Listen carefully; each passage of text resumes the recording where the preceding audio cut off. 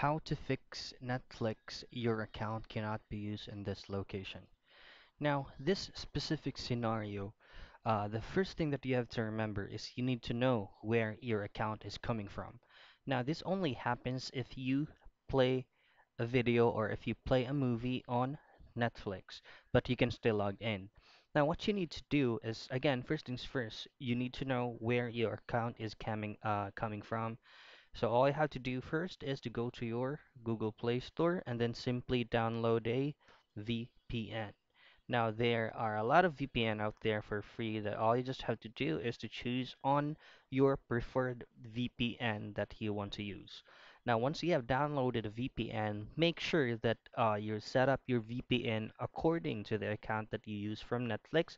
Say for example you're using um, a Netflix account that it, that came from Canada. So on your VPN, just simply set up it as from Canada, so you will be able to play any movies you want without any problems. Again, this only happens, or uh, the error message will only pop up if you're using an account that is not supported with your country.